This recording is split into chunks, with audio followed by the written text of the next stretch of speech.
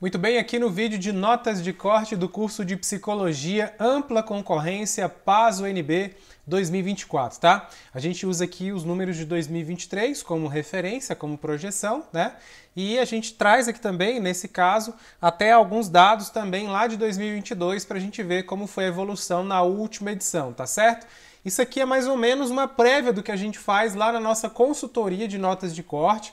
Quem quer conhecer mais, o link vai estar na descrição aqui em breve. A gente vai fazer o lançamento né, nesse pré-edital e no pós-edital também, até o período ali em que a inscrição estiver aberta, a gente vai ofertar é, para quem tiver interesse ali né, em discutir mais detalhes sobre as chances e tudo mais. Sem mais delongas, vamos lá. Psicologia, pessoal, é um curso que na edição de 2022, então eu vou até colocar aqui para vocês, ó, edição de 2022, só para a gente saber como é que foi o perfil, né? Então, ó, 2022, tá? 2022 nós tivemos é, 612 inscritos. Foram 612 inscritos. Qual foi o corte lá, pessoal? Lá, o argumento final ficou entre 105, o argumento mínimo, e 146, o argumento máximo, tá? Eu vou traduzir mais ou menos isso para vocês, mas é uma nota acima de 65 né, em cada etapa. O candidato facilmente teria que ter mais de 65 em cada etapa para pleitear uma das vagas ofertadas aqui. Agora, esse aqui são os dados de 2022. Eu quero te mostrar os dados de 2023, que é o da última edição, que você vai usar como referência para concorrer agora em 2024. Então, vem aqui comigo para a gente mostrar aqui na tela, na minha planilha aqui das notas de corte, tá bom? Então já abri aqui os dados, todos os dados já estão carregados. E o que, que a gente percebe aqui, galera? A gente percebe que o argumento máximo foi 139 e o argumento mínimo foi 98. Claramente dá para perceber também, olhando o número de inscritos aqui, ó. Lembrando que eu estou falando do sistema 1, que é a ampla concorrência sistema universal, tá? Eu estou falando aqui do sistema 1, que é sem cota alguma Sistema Universal Escola Particular. O que, que nós tivemos aqui? Nós tivemos lá em 2022 612 inscritos. Aqui em 2023 nós tivemos 558. Então houve uma redução ali na quantidade de inscritos. Consequentemente, a gente tem uma pequena redução nas notas, tá?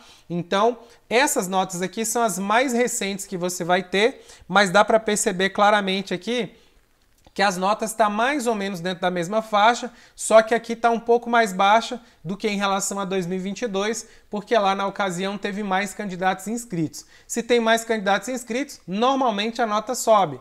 Então, qual foi o argumento que nós tivemos aqui né, na última edição?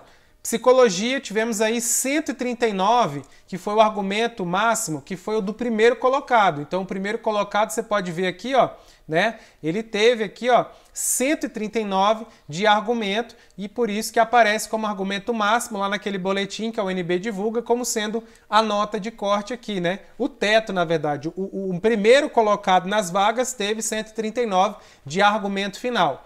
E aí o argumento mínimo, galera, foi 98, tá? Então o último que entrou dentro ali do número de vagas, que no caso aqui são 11 vagas que estavam previstas, esse candidato, que foi o candidato 11 ó, você consegue ver aqui ó, que foi 98,121, exatamente a nota que aparece ali, 98,121 a gente teve aqui essa nota como sendo a nota mínima para entrar na última edição no primeiro semestre, tá? Aqui são as notas do primeiro semestre, essas notas vão diminuindo.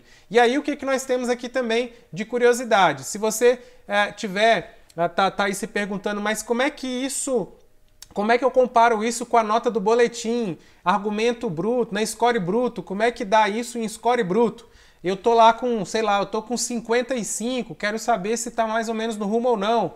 Quanto que dá 139 e 98 ali de é, score bruto lá para eu acompanhar em cada etapa no meu boletim? Bem, aqui eu calculei a média ponderada, tá? A média ponderada, que já é acompanhando a evolução dos pesos, vai dar uma média, pessoal, em cada etapa de 62, tá? Então o candidato aqui, ele teve que ter em média, já com os pesos, 62. Claro que aqui é uma média, então o candidato teve mais em uma determinada etapa, às vezes um pouquinho menos na outra. A gente pode tomar por base aqui, ó, a terceira etapa desse candidato que foi o primeiro colocado. Ele teve aqui, ó, é, praticamente 68 de nota no terceiro ano, 9 na redação. Mas no segundo ano ele teve menos, ele teve 56, 57 praticamente. Isso na média, já olhando também com a nota do primeiro ano, vai dar uma média de mais ou menos 62 em cada etapa para passar em primeiro lugar. Esses foram os números da última edição, tá bom? Agora, o último colocado, né, que foi o décimo primeiro, aqui vai dar uma média ponderada de mais ou menos 53 em cada etapa. Então, se você é de escola particular e tal, que é uma referência de nota, você precisa de mais de 53.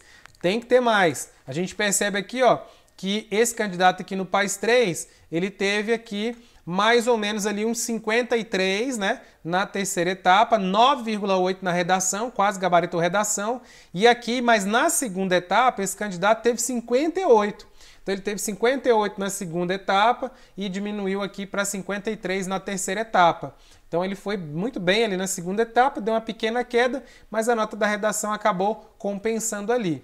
Isso aqui, galera, são as notas desses candidatos é, aqui na primeira chamada, tá? No primeiro semestre. Mas se a gente for olhar mais para frente, na consultoria a gente mostra isso aqui, o raio-x completo, completo. Se a gente for observar aqui ah, no segundo semestre, né?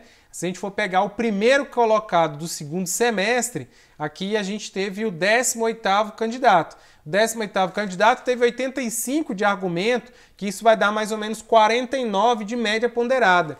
Então, mais ou menos uma média de 50 e poucos em cada etapa para o PAS, se você é de escola particular, é possível entrar, pelo menos foi possível na última edição. Claro que nesse caso, com 50 e poucos, você vai entrar mais para beliscar o segundo semestre ou beliscar as últimas vagas. Se você quer entrar na primeira, no primeiro semestre, nas primeiras vagas, você tem que subir para o patamar de 60 e alguma coisa. 65, 63, 68, né? Máximo que você conseguir acima de 60 para entrar nas primeiras vagas do primeiro semestre. 50 e poucos em cada etapa, você está mais apto ali para o segundo semestre, para ocupar as vagas do segundo semestre. Beleza? Então, lá na consultoria, o raio-x é muito mais completo, porque eu vou comparar com as suas notas. E aí eu vou olhar se você tem chance ou não aqui de entrar, tá bom? Beleza, galera? Então tá aqui as notas de corte de psicologia, ampla concorrência, sistema universal, sistema 1. Beleza? Comenta aqui embaixo qual é o curso que você quer, se é cota, se não é, qual é a cota, para a gente ir fazendo e gravando vários vídeos aí para ajudar vocês, tá bom? E os interessados, pode contactar a gente aí para consultoria de notas de corte do Paso NB, que isso vai fazer a diferença aí na hora de você escolher o curso, tá bom? Um abraço, rapaziada, valeu, tchau, tchau!